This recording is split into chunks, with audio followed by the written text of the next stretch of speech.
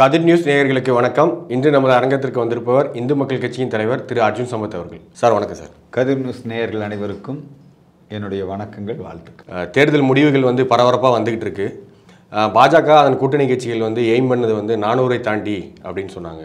ஆனால் இப்போ முந்நூறை பிடிக்கிறதே ரொம்ப கஷ்டமாக இருக்குது இரநூத்தி தொண்ணூற்றி மூணில் தான் ரொம்ப நேரமாக இரநூத்தி தொண்ணூத்தொம்பதுல இருக்குது இது வந்து ஓவர் கான்ஃபிடென்ஸில் இருந்துட்டாங்களோ பிஜேபி? இரண்டு முழக்கங்களை நாங்கள் முன்வைத்தோம். ஃபிர் எக் பார் மோடி சர்க்கார் மீண்டும் மோடி வேண்டும் வேண்டும் மோடி ஆப்கி பார் சார்சோ பார் இந்த முறை நானூறுக்கும் மேல். இதில் முதல் முழக்கத்தில் அநேகமாக நாங்கள் வெற்றி அடைந்து விடுவோம். மீண்டும் மோடி சர்க்கார் தான் வரப்போகுது. இப்போ வந்துங்க நமக்கு வந்து கொஞ்சம் நம்முடைய உற்சாகத்தை குறைக்கக்கூடிய வகையில். இப்போ இந்த பத்தாண்டு காலம் பாரத பிரதமர் நரேந்திர மோடியின் நல்லாட்சி பிரதமர் மோடிக்கு உலக அலங்கில் ஏற்பட்டிருக்கின்ற மரியாதை இவர் செயல்படுத்திய திட்டங்கள் தேசத்தை வளர்ச்சி பாதையிலே நடைபெற்று கொண்டிருக்கிறது. இந்த நேரத்தில் வந்து உத்தரப்பிரதேசம் போன்ற ஒரு மிகப்பெரிய மாநிலத்தில் நாம் வந்து எழுபது இடங்களுக்கு மேலே எதிர்பார்த்தோம். ஏற்கனவே நாம் அப்படியான வெற்றியை கடந்த தேர்தல் காலகட்டங்களிலே நாம் பெற்றிருக்கிறோம். இந்த முறை அங்கே காங்கிரஸ் கட்சி சமாஜ்வாடி ஜனதா கட்சி அவங்க வந்து இன்றைக்கி நம்மளை விட அதிக இடங்களை அவங்க வந்து பெற்றிருக்கிறார்கள். அங்கே வந்து நமக்கு வந்து ஏறத்தாழ நாற்பது தொகுதிகளுக்கு மேலே நாம் வெற்றி வாய்ப்பை இழந்திருக்கிறோம். அது வந்து உத்தரப்பிரதேசங்கிறது இந்தியாவின் இதயம். உத்தரப்பிரதேசம் என்பது அதிக பிரதமர்களை நாட்டுக்கு மாநிலம். கொடுத்த ஒரு மாநிலம். அந்த உத்தரப்பிரதேசத்தில் பிஜேபிக்கு இந்த பின்னடைவு என்பது நம்முடைய உற்சாகம். அதை வந்து கொஞ்சம் நமக்கு வந்து குறைச்சிருக்கு. குறைச்சிருக்கு. இது உண்மைதான். இது தேர்தல் அரசியலில் இத்தகைய முடிவுகளை வெற்றி தோல்விகளை நாம் சந்தித்து கடந்து வர வேண்டும். அதே மாதிரி மேற்கு வங்க மாநிலம். அங்கேயும் பார்த்திங்கன்னா மிகப்பெரிய வன்முறை காட்டாட்சி இந்த மம்தா பானர்ஜியுடைய ஆட்சி. கடந்த முறை தேர்தலுக்கு பிறகு அவங்க நிகழ்த்திய வன்முறை இருக்க பிஜேபிக்கு ஓட்டு போட்டவங்களை தேடி தேடி போய் தாக்கியது. பிஜேபிக்காரர்கள் அவங்க வந்து அந்த மாநிலத்திலேயே பாதுகாப்பு இல்லை என்று சொல்லி பிற மாவட்டங்களுக்கு அவங்க வந்து இடம் பெயர்ந்தது. இதெல்லாம் கூட நடந்தது. அந்த இடத்துல பிஜேபி வந்து நிச்சயமாக ஒரு முப்பது இடங்களாவது ஜெயிக்க வேண்டிய இடம். அதுவும் எங்களுடைய எதிர்பார்ப்பாக இருந்தது. ஆனால் அந்த இடத்திலும் கை. இன்னைக்கு மம்தா பானர்ஜி அவங்க வந்து காங்கிரஸுக்கும் அங்கே இடம் கொடுக்கல. மம்தா பானர்ஜி வந்துங்க காங்கிரஸுக்கும் இடம் கொடுக்கல. அவங்களே தனியாக நின்று அவர்கள் வந்து அவங்களுடைய அந்த அதிகாரம் அவர்களுடைய அந்த ஆட்சி ஆளுமையை இன்றைக்கு அவர்கள் நிரூபித்திருக்கிறார்கள். நமக்கு கொள்கை ரீதியாக கருத்து மாறுபாடு உள்ளவர்கள். நம் மீது அடக்குமுறையை ஏவி விடுபவர்கள். ஆனாலும் அவர்களுக்கு அங்கே இந்த ஜனநாயகத்திலே வெற்றி கிடைத்திருக்கிறது. ஸோ அது ஒரு ஏமாற்றம். அதுக்கடுத்தது மராட்டிய மாநிலம். மராட்டிய மாநிலம் இப்போ இந்தியாவில் அதிகமான நாடாளுமன்ற உறுப்பினர்கள் உத்தரப்பிரதேசம் அதுக்கப்புறம் அதுக்கப்புறம் மராட்டியம் அதுக்கப்புறம் அங்கே வெஸ்ட் பெங்கால் இந்த மூணு இடத்துலையுமே பிஜேபி ஒரு பின்னடைவை சந்தித்திருக்கிறது. இப்படி வட மாநிலங்கள் நம்மை வந்து ஒரு பின்னடைவுக்கு ஏற்படுத்தி இருந்தாலும் இந்த முறை தென் மாநிலங்கள். இங்கே வந்து நமக்கு ஒரு உற்சாகம் கிடைத்திருக்கிறது. கேரளத்திலே இருந்து முதல் பிஜேபி தன்னுடைய அக்கௌண்ட் ஓப்பன் பண்ணியிருக்கு. அவர் குறிப்பாக திருச்சூரிலே சுரேஷ் திரு கோபி. அவர்களுடைய வெற்றி. அதே மாதிரி தமிழ்நாட்டில் நமக்கு வந்து மூணரை சதவீதம் நாலு சதவீதம் தான் ஓட்டு. பிஜேபி காலூன்ற முடியாது வேரூன்ற முடியாது. பிஜேபி நுழைஞ்சிடாம பார்த்துக்கணும் பிஜேபி தமிழ் மண்ணில் வராது இப்படி பேசிக்கிட்டு இருந்தாங்க. இங்கே தமிழ்நாட்டிலே ஏறத்தாழ பன்னிரெண்டிலிருந்து பதினைந்து சதவீத ஓட்டு வரை இன்றைக்கு பிஜேபிக்கு கிடைத்திருக்கிறது. அதுக்கு அடுத்தது நீங்கள் கர்நாடகாவில் பிஜேபி ஒரு வெற்றியை பெற்றிருக்கிறது. முழுமையாக ஏறத்தாழ பத்தொன்பது இடங்களா? பதினெட்டு இடங்கள் ஜெயிச்சிருக்காங்க. முன்னிலை வகிக்கிறாங்க. ஆந்திராவில் பார்த்தீங்கன்னா ஆட்சி மாற்றமே நடந்திருக்கு. பிஜேபி கூட்டணி அங்கே ஆட்சியை பிடித்திருக்கிறது. ஆந்திரா ஒரிசாவிலையும் ஆந்திரா ஒரிசால வந்து அது மிகப்பெரிய ஒரு மாற்றம். ஒரிசால. ஒரிசால வந்து சட்டசபையிலையும் ஆட்சி பிடிச்சிருக்கோம். நூறு சதவீதம் நாடாளுமன்ற தொகுதிகளையும் நம்ம வெற்றி பெற்றிருக்கோம். அதனால் இப்போ தென் மாநிலங்கள் நமக்கு முதல்ல தென்னிந்தியா கட்சி அப்படின்னு வந்து பிஜேபி சொல்ல மாட்டாங்க. வட இந்தியா கட்சி தென் மாநிலங்களுக்குள்ளே நுழைய முடியாது சவுத் இல்லை அப்படி தான் சொல்லிட்டு நார்தன் பார்ட்டி சொல்லிட்டு இருந்தாங்க. இப்போ அது வந்து முறியடிக்கப்பட்டிருக்கு. இது வந்து அரசியலில் தேர்தல் வெற்றிகள் சகஜம்தான். இதிலிருந்து நாம் நாம் பாடம் கற்றுக்கொள்ள வேண்டும். இந்த வெ- குறிப்பா இந்த வந்து வெற்றி அப்படிங்கிறது இண்டி கூட்டணி காங்கிரஸ் இவங்களுக்கு கிடைத்த வெற்றி ஒரு பக்கம். இன்னொரு பக்கம் கடந்த பத்தாண்டு காலத்திலே பாரத நாடு ஒரு வல்லரசாக உருவெடுத்து வருகிறது நல்லரசாக உருவெடுத்து வருகிறது. விஸ்வகுரு அப்படிங்கிற நிலை. இந்தியா ஒரு சூப்பர் பவராக வருவதை சீனா விரும்பவில்லை அமெரிக்காவில் சில சக்திகள் விரும்பவில்லை பாகிஸ்தான் விரும்பவில்லை. அவர்கள் வந்து எப்படியாவது இந்த பிஜேபியினுடைய ஆட்சியை தோற்கடிக்க வேண்டும் என்று அவங்க நிறைய வேலை செஞ்சுருக்காங்க. அர்பன் நக்சல்கள் மூலமாக குறிப்பாக ஜார்ஜ் சோரஸ் போன்றவர்கள் நிறைய பணம் ஊடகங்கள் இதில் எல்லாம் வந்து இந்திய விரோத சக்திகளை மோடி எதிர்ப்பு சக்திகளை இங்கெல்லாம் ஒருங்கிணைச்சு ஆதரித்து அவங்க ரொம்ப பெரிய அளவில் ஒரு சதித்திட்டம் நடைபெற்று இருக்கிறது மோடியை தோற்கடிப்பதற்காக. அதுக்கு இங்கே இருக்கிற கட்சிகளும் ஒத்துழைப்பு கொடுத்துருக்கிறார்கள். அதனால் இந்த முறை நாம் வந்து ஒரு சர்வதேச அளவிலான ஒரு சதி அதில் அந்த வலையில் நம்ம போய் மாட்டக்கூடாது ஆனாலும் நம்ம உத்தரப்பிரதேசத்துல வந்து ராமர் கோயில் கட்டினதுக்கு அப்புறம் மிகப்பெரிய எழுச்சி இருக்கு அயோத்தி. இருக்கக்கூடிய அந்த ஃபைசாபாத் நாடாளுமன்ற தொகுதியிலேயே பிஜேபி தோற்றிருக்கிறது அந்த இடத்துல சமாஜ்வாடி ஜனதா கட்சி அந்த வேட்பாளர் வெற்றி பெற்றிருக்கிறார். அங்கே வந்து இந்த ஓட் ஜிகாத் என்று சொல்லக்கூடிய உத்தரப்பிரதேசத்தில் ஏறத்தாழ பல நாடாளுமன்ற தொகுதிகளில் வெற்றி தோல்வியை தீர்மானிக்கக்கூடிய இடத்துல இஸ்லாமிய வாக்காளர்கள் இருக்காங்க. இந்த முறை அந்த ஓட்டு ஜிகாத் அப்படின்னு நம்முடைய பாரத பிரதமர் நரேந்திர மோடியும் அதை குறிப்பிட்டார். ஏற்கனவே ஓட்டு ஜிகாத் இங்கே தமிழ்நாட்டில் இருக்குது இங்கே தமிழ்நாட்டில் வந்து யாருக்கு ஓட்டு போடணும் அப்படிங்கிறத அவங்க ஜமாத்துகளில் மசூதிகளில் வழிபாட்டு இடங்களில் தீர்மானிக்கிறாங்க. சர்ச்சுகளில் தீர்மானிக்கிறாங்க. இது வந்து இந்திய ஜனநாயகத்துக்கு தேர்தல் நடைமுறை அந்த விதிமுறைகளுக்கு எதிரானது. ஆனாலும் இந்தி கூட்டணியினர் இந்த ஓட்டு ஜிகாத் அப்படிங்கிறதுனால இன்றைக்கி அவங்க பலன் அடைஞ்சிருக்காங்க காங்கிரஸ் பலன் அடைஞ்சிருக்கு சமாஜ்வாதி அவங்க பலன் அடைஞ்சிருக்காங்க நீங்கள் மோடியே ஓட்டு எண்ணிக்கையின் துவக்கத்தில் பின்தங்கினார்னு வருதே செய்தி. ஆமா. ஸோ அந்தந்த ஓட் பேக்கெட்ஸ் இன்றைக்கி கோயம்புத்தூரில் அண்ணாமலை அவர் அவர் வந்து கோயம்புத்தூரில் வந்து கோட்டமேடு ஏரியாவில் அவங்க என்ன பண்ணுறாங்க என்ன? ஆடு பிரியாணி போட்டுக்கிட்டோம். அப்போ ஓட்டு. ஆ ஓட்டு நக்கல் நையாண்டி பண்ணட்டும்ங்க. இந்த ஓட்டு ஜிகாத் என்பது ஆபத்தானது. இதை பற்றி போதிய விழிப்புணர்வு இன்னும் இந்துக்கள் மத்தியில் வரணும். தமிழர்கள் மத்தியில் இது பற்றிய விழிப்புணர்வு வரணும். ஓட்டு ஜிகாத் அப்படிங்கிறது இதில் ஒரு பெரிய பாதிப்பு சர்வதேச சதி. அதே மாதிரி பாரதிய ஜனதா கட்சியும் கடந்த முறை வந்து மேற்கு வங்க மாநிலத்தில் அங்கே நிறைய பிஜேபி தொண்டர்கள் கொல்லப்பட்டார்கள் ரேப் நடந்திருக்கு. பிஜேபி தொண்டர்கள் பிஜேபிக்கு ஓட்டு போட்ட காரணத்தினால பிஜேபி வாக்காளர்கள்ங்கிற காரணத்தினாலேயே பகுதிகளில் தீ வைப்பு கலவரம் இடம்பெயர்ந்து போனாங்க. இந்தியாவுக்குள்ளேயே அந்த மாநிலத்திலிருந்து இன்னொரு மாநிலத்துக்கு அடைக்கலம் தேடியெல்லாம் போனாங்க. அந்த நேரத்தில் பிஜேபி இன்னும் கூட கொஞ்சம் கடும் நடவடிக்கைகள் எடுத்திருக்கணும். இந்த முறை த்ரீ பாயிண்ட் ஓ எப்படி இருந்தாலும் நரேந்திர மோடி தான் கவர்மெண்ட் ஃபார்ம் பண்ணுவார். ஏன்னா இப்போவும் முந்நூறு இடங்களுக்கு மேலே அதாவது ஆட்சி அமைப்பதற்கு இருநூத்தி போதிய இடங்கள் இருக்கு. போதிய இடங்கள் இருக்குது. பிஜேபிக்கு தனிப்பெரும்பான்மை. கடந்த முறை நாம் ரெண்டாயிரத்தி பதினாலில் தனிப்பெரும்பான்மை முந்நூற்றி மூணு. இல்லைங்களா. அதுக்கு அடுத்தது முந்நூற்றி முப்பதுக்கு மேலே. பிஜேபி சிங்கிள் லார்ஜஸ்ட் பட்டி பார்ட்டி மட்டுமல்ல தனிப்பெருங்கட்சி மட்டுமல்ல தனி பெரும்பான்மை பெற்ற கட்சியாக இருந்தது. இந்த முறை பிஜேபியும் ஒரு தனி பெரும்பான்மை கட்சியாக வந்தால் இன்னும் கொஞ்சம் சிறப்பாக இருந்திருக்கும். தனிப்பெரும்பான்மை இல்லாமல் இந்த கூட்டணி கட்சிகளோட ஆட்சி பண்ணால் வாஜ்பாய் ஆட்சி மாதிரி கூட்டணி கட்சிகளின் நிர்பந்தங்களுக்கு ஆளாக நேரிடும். ஆனால் இதையெல்லாம் சமாளிக்கக்கூடிய வல்லமை பெற்றவர்கள் நம்முடைய அமித்ஷா அவர்கள் நம்முடைய நரேந்திர மோடிஜி அவர்கள் ஜேபி நட்டா இவங்கெல்லாம் இதையெல்லாம் சமாளிக்கக்கூடிய வல்லமை பெற்றவர்கள். பிரதமர் நேரு முன்னாள் பிரதமர் மூன்று முறை பிரதமராக இருந்து அதிக காலம் பிரதமராக இருந்தவர் அப்படிங்கிற அந்த சாதனை இருக்குது அதை வந்து நரேந்திர மோடி அவர்கள் நிச்சயமாக முறியடிப்பார். இன்னைக்கு உலகத் தலைவராக உயர்ந்திருக்கிறார் நரேந்திர மோடி அவர்கள். ஆனா காங்கிரஸ் காங்கிரஸ் மோடியினுடைய கேரண்டி அது வந்து என்னெல்லாம் தேர்தல் வாக்குறுதியில் கொடுத்துருக்காங்களோ அதையெல்லாம் நடைமுறைப்படுத்த அதையெல்லாம் மக்களுக்கான அந்த திட்டங்களை நிறைவேற்ற மோடி நிச்சயமாக முயற்சி எடுப்பார். அதனால் காங்கிரஸ் வந்து இந்த அரசியல் ஈடுபடுவாங்க நீங்கள் சொல்கிற மாதிரி. காங்கிரஸ் வந்து சந்திரசேகர் சந்திரசேகர் அவர்? நிதிஷ்குமாரையும் இழுக்கிறா இழுக்கிறாப்புல இருக்காங்க. பண்ணுவாங்க இல்லையா? அரசியல்னா அதானே? இவங்களும் போகிறவங்க தானே? நிதிஷ்குமார் ஏற்கனவே இங்க இருந்து அங்க போயிட்டு மறுபடியும். இதெல்லாம் கொஞ்சம் இப்போ நடக்கலைனாலும் கொஞ்சம் லேட்டாக நடக்கலாம். அதுக்குள்ளே வேற சூழல்களும் இருக்கும் உருவாக்கும் புரியுதுங்களா? அரசியலில் எதுவும் நடக்காது அப்படின்னு நம்ம சொல்ல முடியாது எதுவும் நடக்கும்னு சொல்ல முடியாது.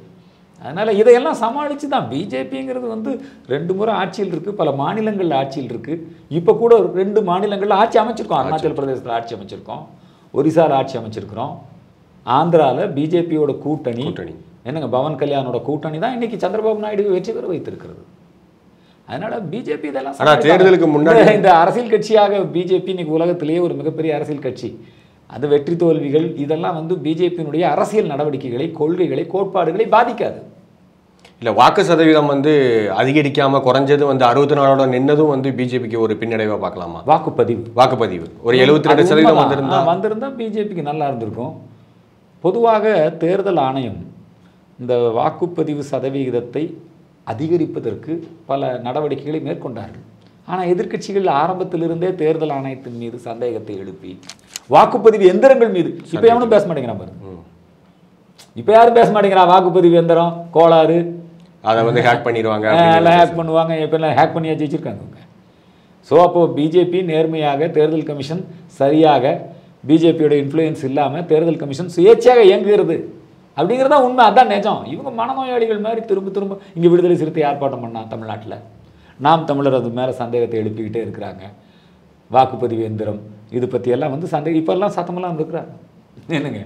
ராகுல் காந்தியோட நடைபயணம் வந்து இதுல தாக்கத்தை ஏற்படுத்திக்குன்னு நினைச்சுக்கலாமா? பாரத் ஜோடோ ராகுல் காந்தி பாரத் ஜோடோ யாத்திரை போகின்ற இடத்திலே அவங்க வந்து ஜெயிச்சிருந்தாங்கன்னா அது சொல்லலாம். கர்நாடகாவில் என்ன இப்போ பிஜேபி தான் ஜெயிச்சிருக்கு.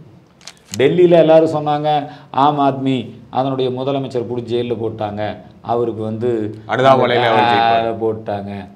ஆனால் டெல்லியில் பிஜேபி தான் BJP ஜெயிச்சிருக்கு தான் ஸோ லஞ்ச ஊழலுக்கு எதிரான நடவடிக்கைகளிலே பிஜேபி என்றைக்கும் தீவிரமாக இருக்கிறது. இவர் இந்த பாரத் ஜோடோ யாத்திரையில் அது பாரத் தோடோ யாத்திரை அது. பாரதத்தை பிரிக்கின்ற யாத்திரையாகத்தான் ராகுல் அதை நடத்தினார். அவர் யாத்திரை போன இடத்துல காங்கிரஸ் ஜெயிச்சிருக்கா? இல்லை. அப்படிலாம் ஒன்றும் அதுக்கப்புறம் வந்து காங்கிரஸ் வந்து தேர்தலுக்கு முன்னா முன்கூட்டியே இருந்து வந்து ஓபிசி பாலிடிக்ஸு அப்புறம் ஜாதிவாரி மக்கள் தொகை கணக்கெடுப்பு இதெல்லாம் வந்து அதிகமா பேசினாங்க. இதுவும் வந்து தாக்கத்துல தேர்தலில். ஏற்படுத்தி சாதி மத அரசியலை காங்கிரஸ் கையில் எடுத்தது.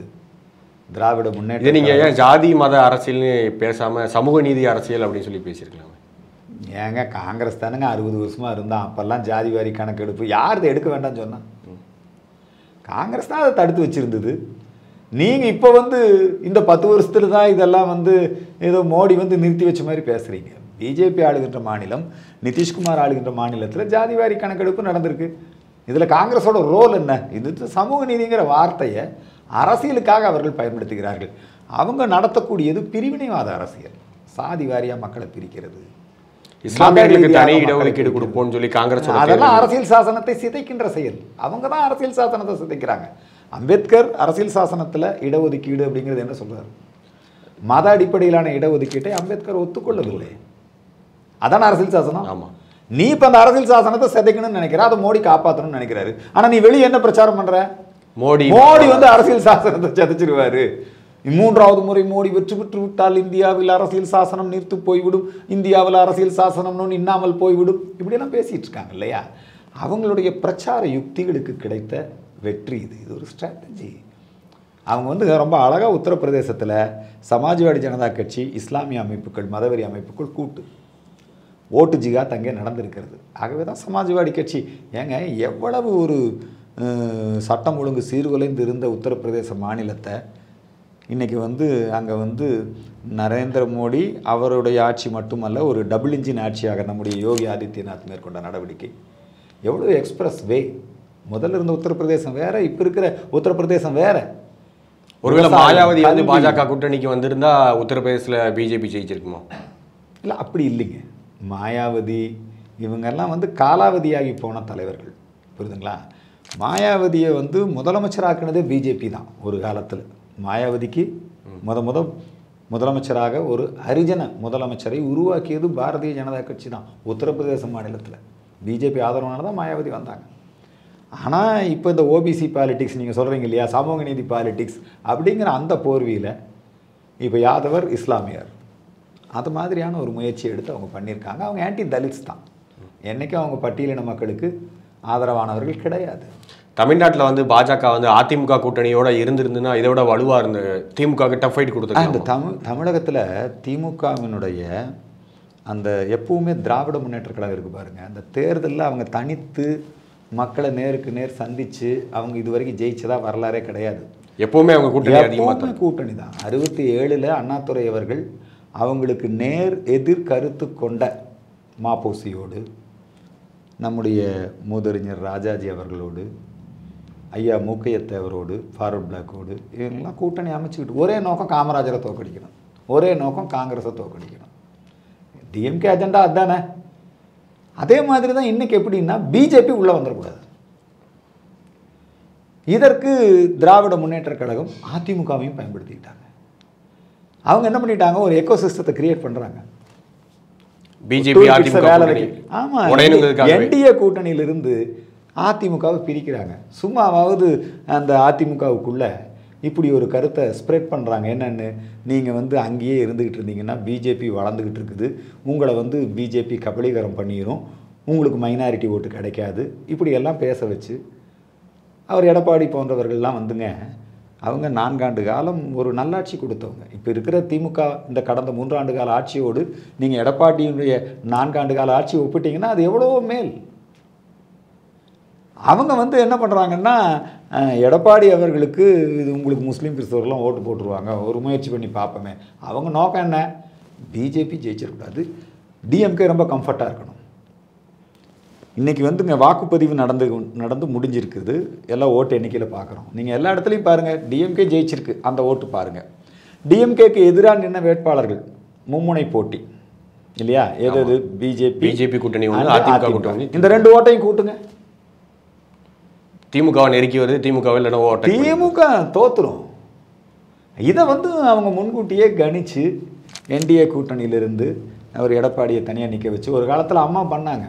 மக்கள் நல கூட்டணியில் வைகோவை அனுப்பிச்சு அவர் வந்து திமுகவோட கூட்டணிக்கு போயிடக்கூடாதுன்னு சொல்லி விஜயகாந்த் அவர்களை அவங்க அப்படி ஒரு அரசியல் பண்ணாங்க. அது உண்மையா பொய்யாங்கிறதெல்லாம் இருக்கட்டும். ஆனால் இதுதானே உண்மை. அது மாதிரி தான் இவங்க இப்போ வந்து இந்த என்டிஏ கூட்டணியில் ஒரு பிளவை ஏற்படுத்தினாங்க. அதில் ஏடிஎம்கே வெளியே போய் தனியாக நின்னுது. ஆனா அதனால BJP ஓட்டுகள் காரங்களும் பிரிஞ்சுது. ஓட்டுகள் பிரிஞ்சுது இப்போ. டிஎம்கே ஆட்சி வந்து நல்லாட்சின்னு மக்கள் யாரும் சான்றிதழ் கொடுக்கல. மக்கள் எல்லாம் டிஎம்கேக்கு எதிராக தான் ஓட்டு போட்டிருக்கான் டிஎம்கேயோட வாக்கு சதவீதம் குறைஞ்சிருக்கு. குறைஞ்சிருக்குது அது அப்புறம் பிஜேபியுடைய வாக்கு சதவீதம் அதனுடைய சக்தி அதிகரிச்சிருக்கு. என்ன? அது அதிகரிச்சிருக்குது. ஏடிஎம்கேவும் ஒரு கௌரவமான வாக்குகளை வாங்கியிருக்குது. ஏடிஎம்கே அப்படிங்கிற அந்த பேர் இயக்கம் மக்கள் இயக்கம் எம்ஜிஆரால் எதற்காக உருவாக்கப்பட்டது? திமுக ஊழலாட்சியை அகற்ற வேண்டும். திமுக என்கிற தீய சக்தி அதனிடமிருந்து மக்களை பாதுகாக்க வேண்டும் என்பதற்காகத்தான் ஏடிஎம்கே உருவாக்கப்பட்டது. அடிப்படை கொள்கையே அதுதான். இவங்க பிஜேபியை தோக்கடிக்கணுங்கிறதுக்காக ஏடிஎம்கே கூட சேர்ந்து டிஎம்கே ஏடிஎம்கே எல்லாம் சேர்ந்து இதுதான் அரசியல் கேம். பிஜேபியை தோக்கடிக்கிறதுக்காக ஏடிஎம்கே டிஎம்கே ஒன்று சேர்ந்துக்கிட்டாங்க அப்படிங்கிறீங்களா? அந்த மாதிரி ஒரு முயற்சியை எடுத்தாங்க. பிஜேபி வந்துடக்கூடாது ஆனால் திருநெல்வேலி ராமநாதபுரம் கோயம்புத்தூர் பகுதியிலலாம் வந்து கன்னியாகுமரி இதெல்லாம் வந்து அதிமுகவை ஓவர்டேக் பண்ணி பிஜேபி ரெண்டாம் இடம் அந்த வளர்ச்சி நீங்க ஒத்துக்கணும்ல இப்போ பிஜேபி நல்லா வளர்ந்து வந்தது திருநெல்வேலியில எழுபத்தி பிஜேபி நல்லா வளர்ந்து வந்ததுன்னா ஏடிஎம்கேவை காப்பாற்றலாம் ஏடிஎம்கே நல்லா வளர்ந்து வந்ததுன்னா பிஜேபிக்கு நல்லது. இந்த தேச விரோத சக்தி பிரிவினைவாத சக்தி இந்த கஞ்சா போதைப்பொருள் ஆட்சி இதுக்கு எதிராக எம்ஜிஆர் அதுக்காகத்தான் அதிமுக உருவாக்குனது அதுக்காக. அம்மா எதுக்காக சிம்ம சொப்பனமாக இருந்தாங்க. இந்த எம்ஜிஆர் ஜெயலலிதா இவங்க பாதையில் அந்த திமுக எதிர்ப்பு தானுங்க ஏடிஎம்கே. இவன் சும்மா திராவிட மாடல்னு திராவிட இயக்கம்னு அதை ஒரு பிராண்ட் பண்ணி என்னங்க இவங்க வந்து அவங்களுக்கு முஸ்லீம் கிறிஸ்தவர்கள் ஓட்டு போட மாட்டாங்க. இவங்களுக்கும் ஒரு நப்பாசியை கிரியேட் பண்ணிவிட்டு இப்போ என்ன முஸ்லீம் கிறிஸ்தவர்கள்லாம் ஏடிஎம்கேக்கு நிறைய ஓட்டு போட்டாங்களா? இல்லை கன்னியாகுமரி பாருங்க கன்னியாகுமரியில். பாருங்க நாம் தமிழரை விட கீழே வச்சிருக்கேன் கீழே வச்சிருக்காங்க. அப்போ நம்முடைய கட்சி பிஜேபி அல்லது ஏடிஎம்கே இதுக்கு வந்து அவங்க முஸ்லீம் கிறிஸ்தவர்கள் இப்போ கோவாவில் கிறிஸ்தவர்கள்லாம் பிஜேபிக்கு ஓட்டு போடுறான் அந்த நிலை வரும். புரியுதுங்களா? அது வரைக்கும் கொஞ்சம் பொறுத்துருக்கணும். அது வரைக்கும் இந்த திமுகவினுடைய இந்த தந்திர அரசியலில் போய் மாட்டிக்கூடாது இல்லையா? இப்போ நமக்கு clear ஆயிருச்சு. ஒரு வகையில் இது நல்லது. பிஜேபிக்கு எவ்வளோ ஓட்டு கிடச்சிருக்குது? ஏடிஎம்கேக்கு எவ்வளோ ஓட்டு கிடச்சிருக்குது? இதெல்லாம் பார்ப்போம். இருபத்தாறு தேர்தலில் நம்முடைய ஒரே நோக்கம் மக்கள் விரோத இந்த ஆட்சியை அகற்ற வேண்டும். இல்லையா? அதானே ஏடிஎம்கே நோக்கம்? அதானே பிஜேபியுடைய நோக்கம்? நாம் சேர்ந்து செயல்பட்டு அதுக்கு வந்து யார் யார் என்னென்ன சக்தி படைச்சவங்க அப்படிங்கிறத நம்ம தெரிஞ்சுக்கிட்டோம். இனிமேலாவது நாம் வந்து இந்த மக்கள் விரோத திமுக அரசை அகற்றுவதற்கு நாமெல்லாம் சேர்ந்து செயல்படணும். அந்த முயற்சிகளை நம்ம மேற்கொள்ள வேண்டும். இப்போ நாம் தமிழ் கட்சி சீமான் என்ன சொல்றாரு அப்படின்னா பிஜேபியோட நாம் தமிழ் கட்சியோட பிஜேபி அதிக ஓட்டு வாங்கிடுச்சுன்னா என் கட்சியை கழிச்சிட்டு போயிடுறேன் அப்படின்லாம் சொல்லியிருந்தாரு. அது அவர் ஏற்கனவே பல முறை சொல்லியிருக்கிறாரு. சீமான் பேச்செல்லாம் நம்ம பெருசாக சீரியஸாக எடுத்துக்க வேண்டாம். அவர்லாம் நம்மால் தானுங்க. எங்கே போயிட போகிறாரு ஒரு இந்த மூன்றாண்டு கால ஆட்சியில் வந்து திமுகவோட குறைகளை வந்து நிறைய எடுத்து சொல்லியிருந்தாங்க. அதிமுகவும் சொல்லியிருந்தது பிஜேபியும் சொல்லியிருந்தாங்க. பிஜேபி தான் அதிகமாக சொன்னாங்க. ஊழல் விஷயங்கள் பற்றியும் நிறையா எல்லாம் அண்ணாமலையினுடைய நடவடிக்கைகள் திமுகவினுடைய மக்கள் விரோத போக்க லஞ்ச ஊழல் அரசியலை குடும்ப அரசியலை வாரிசு அரசியலை என்னங்க? இதை எடுத்து சொல்லியும் திமுக தானே ஜெயிச்சிருக்கு. அதான் ஜெயிச்சதுன்னா நீங்கள் என்ன திமுக வந்து நீங்கள் இந்த திமுக எதிர்ப்பு திமுகவினுடைய அதிருப்தி மக்கள் வந்து ஓட்டு போட்டு திமுக எதிராக தான் ஓட்டு போட்டிருக்கான் திமுக ஓட்டு போட விரும்பல. ஆனால் பிஜேபிக்கும். போட்டுக்கிட்டாங்க இதுக்கும் போட்டுக்கிட்டாங்க. அதனால பிரிஞ்சு போச்சு. இப்போ திமுக அதிமுக பிஜேபி கூட்டணி உருவாகக்கூடாதுன்னு சொல்லி பிஜேபியில் இருக்கிறவங்களும் சில பேர் பேசுனாங்க அதிமுகவில் இருக்கிறவங்க சில பேர் எல்லா இடத்துலையும் இந்த ஆளுக ஊடுருவி இருப்பாங்க. இந்த டிகே மைண்டட் இந்த அர்பன் நக்சல்ஸ் இவங்கெல்லாம் எல்லா டிகே மைண்டட்னா தீகா சொல்றீங்க. ஆமாம் திமுகலையும் திக ஊடுருவல் இருக்கு. திமுகவோட கொள்கை என்ன? சனாதன ஒழிப்பா? சொல்லுங்க. இல்லை அறிஞர் அண்ணா அப்படி சொல்லவே இல்லை. அண்ணா எப்பவும் சொல்லலையே. அண்ணா ஒன்றரை குலம் ஒருவனே தேவன் சொன்னாரா இல்லையா? ஈவேரா கொள்கை எது? கடவுள் இல்லை இல்லவே இல்லை. காங்கிரஸ் ஒழியணும் காந்தி ஒழியணும் இல்லையா? சாதி மதம் ஒழியணும் கடவுள் ஒழியணும். இதுதானே ஈவேரா கொள்கை. இதை எதிர்த்து தானே நீங்கள் வெளியே வந்தீங்க? திக எதிர்த்து தானே திமுக. ஆரம்பிச்சீங்க. அண்ணாதுரை வந்து ஆன்மீகத்தை ஏற்றுக்கிட்டாரு சார் அவர் பக்தரா இல்லை. ஆனாலும் அவர் வந்து ஆன்மீக ஒன்றரை குலம் ஒருவனே தேவன்னு சொன்னார். அண்ணாதுரை பிரிவினை கோரிக்கை திராவிட நாடு கோரிக்கையை கைவிட்டார். அண்ணாதுரை மத்திய அரசுன்னு தான் சொன்னார். அவர் எங்கேயும் ஒன்றியம்னு சொல்லலை. அதுக்கப்புறம் வந்த கருணாநிதி அவர்கள் என்ன பண்ணாங்க? பிஜேபியோடய கூட்டணி வச்சிருக்காங்க. நீங்கள் வந்து இப்போ உங்களுக்குள்ள நிறைய தீக்காக்காரன் கம்யூனிஸ்ட்காரன் இந்த விடுதலை சிறுத்தை இவன்லாம் இன்னைக்கு திமுகவை டாமினேட் பண்ணுறான் ஏங்க தமிழ்நாடு முற்போக்கு எழுத்தாளர் சங்கம் ஒரு நூறு நூற்றம்பது பேர் ஒரு அரங்க கூட்டம் போடுறாங்க. அதில் போய் அவங்க எவ்வளவு புத்திசாலித்தனமாக உதயநிதியை டூல்கிட்ட பயன்படுத்துகிறான் பாருங்க. உதயநிதி. உதயநிதியை பேச வைக்கிறாங்க. அதுக்கு ஒரு எங்க உதயநிதியோட அம்மா அவங்களுக்கு தெரியாதா? அவங்க கோயிலுக்கு போகிறாங்க கோ பூஜை பண்ணுறாங்க லலிதா சகஸ்ரநாமம் சொல்கிறாங்க பூஜை துலாபாரம். கொடுக்குறாங்க. எல்லாம் கொடுக்குறாங்க ஏன் அவங்களுடைய உங்கள் உங்கள் வீட்டு மாப்பிள்ளை சத்ரு சமகார யாகம் நடத்துறாரு திருச்செந்தூர் திருச்செந்தூர்ல நடத்துனாரு. அப்புறம் நீங்கள் போய் சனாதனத்தை ஒழிப்போன்னு நீங்கள் அது அது அவன் வேலை முற்போக்கு எழுத்தாளர் சங்கத்துக்காரன் அது அவன் கொள்கை அதை வந்து திமுகவை பயன்படுத்தி அதை வெளிப்படுத்தி திமுகவுக்கு ஒரு பெரிய வீழ்ச்சி ஏற்படுத்தினா இன்னைக்கு ஸ்டாலினை வடநாட்டில் எவனும் பிரச்சாரத்துக்கு கூப்பிட மாட்டேங்கிறானே ஏன்னா காங்கிரஸோட ஓட் பேங்க் பாதிச்சிரும் அப்படி. பாதிச்சிருன்னு நினைக்கிறாங்க இல்லையா? அதனால இந்த ஆட்சியில் திமுகலையும் இந்த தீக்காக்காரங்களுடைய அந்த சிந்தனை உள்ளவங்க இருப்பாங்க. ஏடிஎம்கேல இருந்தாங்க. தீகா சிந்தனை உள்ளவங்க இருந்தாங்க. அவங்கெல்லாம் அப்பப்போ இந்த எழுச்சிக்காரங்களே பெரியார் கொள்கையை நிறைய பின்பற்றி ஜெயக்குமார்லாம் அடிக்கடி அவர் சொல்லுவாருங்க ஏங்க எம்ஜிஆர் வந்து மூகாம்பிகையை வணங்கினார் இல்லையா? எம்ஜிஆர் வந்து ஒரு கடவுள் பக்தர் தேசபக்தர். எம்ஜிஆர் இந்து முன்னணி ஆதரவாளருங்க. ஜெயக்குமார்லாம் சும்மா ஏதாவது பேசல. இதே ஜெயக்குமார் தலைமையில் அந்த அம்மா சொல்லுச்சு. ராமரை குடிகாரன்னு கருணாநிதி சொல்லியிருக்கிறார். ஏடிஎம்கே மாவட்ட செயலர் மந்திரி எல்லாம் பூரா எல்லா தலைநகரத்துலையும் ஆர்ப்பாட்டம் பண்ணுங்க. அப்படின்னு சொன்னது ஜெயலலிதா. ஜெயலலிதா சொன்னது மட்டுமல்ல ஜெயலலிதா ஆர்ப்பாட்டம் பண்ணுச்சு. கட்சி சார்பாகவே கட்சி. சார்பாகவே நடந்துச்சு நான் போய் கலந்துக்கிட்டேன். இன்னைக்கு வந்து ஜெயலலிதா ஒரு இந்துத்துவவாதியே கிடையாதுன்னு சொல்லி அது ஜெயக்குமார் அது அவங்களுக்கு இந்துத்துவம்னா என்னன்னு தெரியலிங்க. அவங்களுக்கு அது என்ன புரிதல்னு தெரியல. அது இருக்கட்டுங்க அதெல்லாம் சரியாயிரும். புரியுதுங்களா?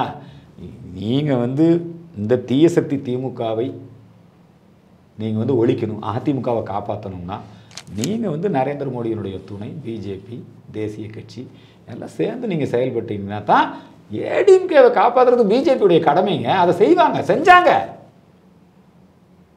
ஏடிஎம்கே காப்பாத்துறது பிஜேபி பிஜேபியுடைய கடமை தானே? ஏடிஎம்கே வளர்ந்தா பிஜேபிக்கு நல்லது பிஜேபி வளர்ந்தா ஏடிஎம்கேக்கு நல்லது. இந்த தீய சக்தியை ஒழிக்கணுங்கிறதான ரெண்டு பேர்த்தோட நோக்கமும். இந்த பிரிவினைவாதியை ஒழிக்கணுங்கிறதான ரெண்டு பேர்த்தோடைய நோக்கமும். தமிழகத்திலேருந்து ஒரு அஞ்சு மத்திய அமைச்சர்கள் வருவாங்க அப்படின்னு சொல்லி எல்லாம் பிரச்சாரத்தின் போது எதுக்கும். வாய்ப்பு இல்லாமல் போச்சு. ஏற்கனவே யாரெல்லாம் போய் ஒரு நாளும் கூட எனக்கு தெரிஞ்சு கடந்த காலத்தில் முப்பத்தி எட்டு எம்பிக்கள் இருந்தாங்க திமுகவுக்கு. இல்லைங்களா? என்னைக்காவது போய் தமிழ்நாட்டு பிரச்சனை என்னைக்காவது போய் ஒரு வளர்ச்சி திட்டம் இதை பற்றி என்னைக்கும் அவங்க பேசலை.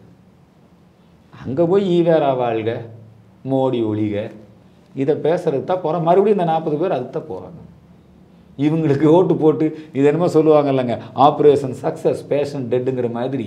நீ நாற்பது இடத்துல ஜெயிச்சு என்னப்பா பண்ண போகிற மோடி கவர்மெண்ட் அங்கே ஃபார்ம் பண்ண போகிறாங்க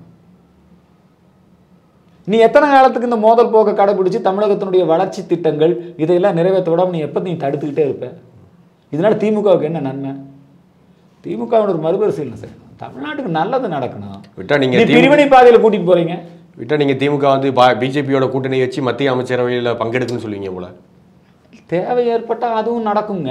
ஏன் கருணாநிதி கூட்டணி வைக்கலையா? முரசொலி மாற மந்திரியா இல்லையா அப்படி? திமுகலாம் ஒரு அரசியல் கட்சிங்க. அது ஒன்றும் நக்சல் அமைப்பு கிடையாது. அதிமுக ஒரு அரசியல் கட்சிங்க ஒன்றும் நக்சல் அமைப்பு கிடையாது. கூட்டணிகள் எப்போ வேணால் வரலாம் போகலாம் மாறலாம். ஆனால் இப்போ திமுகங்கிறது ஒரு ஊழல் கட்சி. இந்த மூன்றாண்டு காலம் வந்து அவங்க வந்து நடத்தி இருக்கக்கூடிய இந்த ஆட்சி மோசமான ஆட்சி. தமிழக மக்கள் வந்து கோபத்தில் அதிருப்தியில் இருக்கிறாங்க. அவங்க வந்து நிச்சயமாக பிஜேபி ஏடிஎம்கே எல்லாம் சேர்ந்து இருந்திருந்தாங்கன்னா இந்த நாற்பது இடத்துலையும் இவங்க தான் ஜெயிச்சிருப்பாங்க. நாம் தமிழர் சேர்த்துக்க மாட்டீங்களா ஏடிஎம்கே நாம் தமிழர் வந்துங்க அவங்க ஃபோர்ஸ் அவ்வளவுதானுங்க. இந்த தனி தமிழ்நாடு என்னமோ தமிழ் தேசியம் இல்லையா அவங்களுக்கு? தமிழ் தேசியம், தனி தமிழ்நாடு. ஒன்று தானே தமிழ் தேசியம்னா என்ன இந்து தேசியம்னா என்ன? உங்க ரெண்டு எல்லாம் பிரிச்சு ஒன்று சொல்றாங்க. அது சொல்லிட்டு இருப்பாங்க சரியாயிடும் ரெண்டாயிரத்தி நீங்க தமிழ் தேசியத்துல அவர் கூர்மையான தமிழ் தேசியம் பேச பேச அங்கிருந்து கிறிஸ்டின் முஸ்லீம் எல்லாம் வெளியே போயிடுவான் இல்லைன்னா ஏத்துக்கிட்டு இருப்பான். ஏத்துக்கிட்டு இருக்கணும். தமிழ் தேசியத்தை ஏத்துக்கிட்டா நம்மளுக்கு என்ன பிரச்சனை? தமிழ் தேசியம்னா என்ன? முருகன் தானே. தமிழ் தேசியம்னா என்ன? பொங்கல் தானே. ஜல்லிக்கட்டு தானே. அது நம்மளுது தானே. இந்த தமிழ் தேசியம் இந்து தேசியம் திராவிட தேசியம் எல்லாம் நம்மளுது தானுங்க வாஜ்பாய் அழகாக சொன்னார். வாட் இஸ் திராவிட தேசியம்?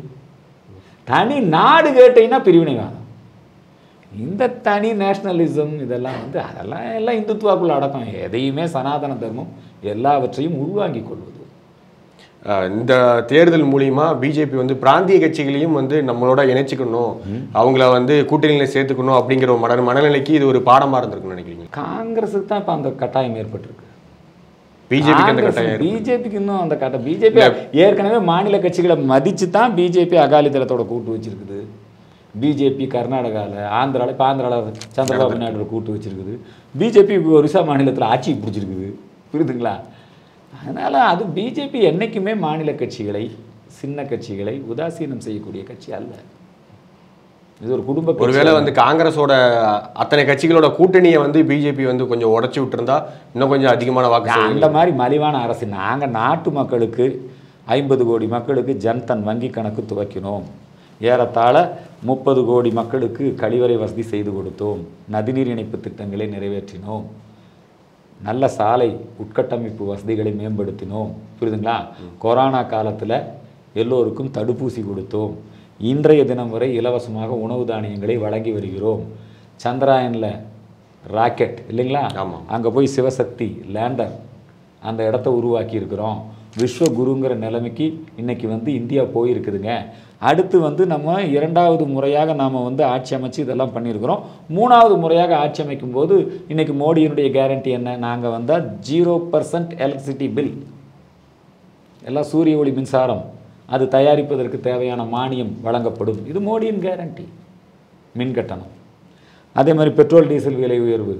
அதை வந்து அதுக்காக அவங்க வந்து என்ன பண்ணுறாங்க இயற்கை எரிபொருள்கள். எத்தனால் கலந்த எரிபொருள். அதை ஊக்குவிக்கிறது. அது மோடியின் கேரண்டி எல்லோருக்கும் வீடு. மோடியின் கேரண்டி மூணு கோடி வீடுகள் கட்டப்படும். இந்த தேர்தல் வாக்குறுதி வீடுகள் கட்டப்படும்.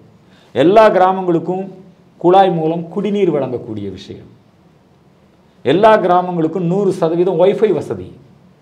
எலக்ட்ரிசிட்டி இது மோடியினுடைய கேரண்டி அதுக்காக நிறைய நாம் வந்து திட்டங்கள் போட்டு தேர்தல் வாக்குறுதி கொடுத்துருக்குறோம். இவங்க மோடியின் கேரண்டி அப்படிங்கிறத பற்றி பேசுறது இல்லை ஐயோ மோடி வந்து ராமர் கோயில் அதை பற்றி பேசினார். ஆர்டிகிள் த்ரீ செவன்ட்டி அதை வந்து ரத்து பண்ணிட்டாரு. மோடி ஆட்சியில் முஸ்லீம்களுக்கு ஆபத்து. இவங்க திரும்ப திரும்ப அதே பொய் பிரச்சாரத்தை தொடர்ந்து சொல்லிக்கிட்டே இருக்காங்க. அவங்களுக்குள்ள நிறைய முரண்பாடு இருக்குது நீங்கள் பாருங்கள் எந்த தேர்தலையுமே நீங்கள் பார்க்க முடியாது. வயநாடு தொகுதியில் ஆனி ராஜா ராகுலை தோற்கடிக்க வேண்டும். கம்யூனிஸ்ட் கட்சி ஆனி ராஜா யார்? நம்ம ஆள். துரை இல்லைங்களா? அவருடைய மனைவி. அவங்க வந்து அங்கே நிற்கிறாங்க ஆனால் அதே ஆனி ராஜாவும் இவரும் சேர்ந்து எங்கள் பிரச்சாரத்துக்கு அங்கே போகிறாங்க ரேபரேலிக்கு. ராகுலை ஜெயிக்க வைப்போம். இண்டி கூட்டணி. அவர் வந்து பினராயி விஜயன் மிக தெளிவாக சொல்லுகிறார். கேரளத்தில் மேற்கு வங்க மாநிலத்தில் மம்தா தெளிவாக இருக்காங்க. காங்கிரஸுக்கு நாங்கள் இடம் கொடுக்க மாட்டோம். சமாஜ்வாடி ஜனதா கட்சியோடு ஒரு உடன்பாட்டுக்கு வந்திருக்கிறாங்க. அதுக்கு மாயாவதி ஒத்துழைக்கலை. இப்படி அந்தந்த மாநிலங்களுக்கு தகுந்தபடி ஆம் ஆத்மி டெல்லியில ஒத்துழைக்கல, பஞ்சாப்ல ஒத்துழைக்கல. ஒத்துழைக்கல. எங்க காங்கிரஸ்க்கு அவங்க சீட் கொடுத்தாங்க. இவங்கெல்லாம் சேர்ந்து என்ன மாற்றத்தை கொண்டு வர முடியும்னு நீங்கள் நினைக்கிறீங்க? ஜனங்களை முட்டாளாக்குறாங்க. ஒரே நோக்கம் மோடி பிஜேபி ஆட்சி இது மீண்டும் வரக்கூடாது. அதுக்காக எந்த எண்டுக்கு போவாங்க? தமிழ்நாட்டில் அந்த எண்டுக்கெல்லாம் போனாங்க. நாடு முழுக்க தேர்தல் ஆணையம் பணப்புழக்கத்தை கட்டுப்படுத்துவதிலே அதாவது வாக்காளர்களுக்கு பண விநியோகம். கொடுக்க வேண்டிய பணம். அதை வந்து இவங்க வந்து ஒன்றுமே தமிழ்நாட்டில் ஒன்றுமே பண்ண முடியல. திமுக பரவலாக வாக்காளர்களுக்கு பணம் கொடுத்தது. திமுக அரசு எந்திரத்தை மிக தவறாக பயன்படுத்தியது. ஆனால் ஓட்டுக்கு முந்நூறுரூவா தான் கொடுத்தாங்க அப்படின்னு. இருக்கலாம் முந்நூறு ஐநூறு ஒவ்வொரு தொகுதியில் ஒவ்வொரு மாதிரி கொடுத்துருக்குறாங்க. பூரா வந்துங்க இவங்க வந்து இன்னைக்கு வெற்றி அடைந்திருக்கிறார்கள் என்று சொன்னால் அது ஜனநாயகத்தின் வெற்றி அல்ல பணநாயகத்தின் வெற்றி. அதிகாரத்தின் வெற்றி. அவங்க வந்து நாற்பது தொகுதியில் வந்து இன்னைக்கு அப்படித்தான் அவங்க வெற்றி பெற்றிருக்காங்க. குறுக்கு வழியில் இவங்க வெற்றி பெற்றிருக்காங்க. சென்னை சுற்றி இருக்கிற தொகுதிகளில் வந்து சென்னை தொகுதிகளில் வந்து பிஜேபி ரெண்டாம் இடம் வந்திருக்கிறத எப்படி பார்க்குறீங்க ஏன்னா சென்னைங்கிறது பரவலாக பிஜேபி வந்துங்க வலிமையாக காலூன்றி வருகிறது வேரூன்றி வருகிறது. அதுதான் இப்போ நடந்துகிட்டு இருக்குது. நம்ம அதைத்தான் நம்ம இப்போ தெரிஞ்சுக்கிறோம். நீங்கள் முன்னாடி வந்து மூணு சதவீதம் இருந்ததுங்கிறீங்க. இப்போ பிஜேபிக்கு பன்னெண்டுலேருந்து பதினஞ்சு சதவீத ஓட்டு வந்திருக்குது. அடுத்து இருபத்தாறில் ஒரு மிகப்பெரிய மாற்றம் ஏற்படுத்துவதற்கு பிஜேபியே அல்லது பிஜேபி தன்னுடைய தோழமை கட்சிகளோடு கூட்டணி கட்சிகளோடு சேர்ந்து அந்த ஆட்சி மாற்றத்தை ஏற்படுத்தும் தமிழ்நாட்டு மக்களை இந்த திமுக கிட்ட காப்பாற்றணும் அந்த வேலையை பிஜேபி செய்கிறதுக்கு இது ஒரு நல்ல ரெண்டாயிரத்தி இருபத்தி ஆறில் பிஜேபி தலைமையில் கூட்டணியா இல்லை அதிமுக தலைமையில் பிஜேபி கூட்டணி அதிமுக தலைமையிலையும் வச்சுக்கலாம் பிஜேபி தலைமையிலையும் வச்சுக்கலாம். யார் அதிகமான மக்கள் செல்வாக்கு பெற்றிருக்காங்களோ அதுக்கு தகுந்தபடி தொகுதிகளை பங்கிட்டு கொண்டு ஏன் இப்போ இவங்க சொல்லலையா இண்டி ஒரே குறிக்கோள் திமுக ஆமாங்க அது ஏங்க மக்கள் இன்னைக்கு எவ்வளவு சிரமப்படுறான் இந்த ஆட்சியில்? ஒரு அராஜக ஆட்சி போதைப்பொருள் ஆட்சிங்க இது. சட்டம் ஒழுங்கு சீர்குலைந்து கிடக்குது. அன்றாட பேப்பர் எடுங்க எத்தனை கொலை கொள்ளை வழிப்பறி. திமுக அவங்களுடைய அவங்களுடைய அராஜகம் எத்தனை அராஜகம்? தென் மாவட்டங்களில் ஜாதி எல்லா இடத்துலையும் ஜாதி பிரச்சனை. பட்டியலின மக்களுக்கு விரோதமான நடவடிக்கைகள். அதனால் வந்து இந்த ஆட்சியிலிருந்து நம்ம மக்களை காப்பாற்றணும் அதை வந்து பிரதான கடமையாக பிஜேபியும் சரி ஏடிஎம்கேவும் சரி பாமகவும் சரி சேர்ந்து செயல்பட்டால் நிச்சயமாக மாற்றம் நம்மிடையே இணைந்து பல்வேறு கருத்துக்களை பயந்து கொண்ட மிக்க மிக்க நன்றி சார். நன்றி வணக்கம்.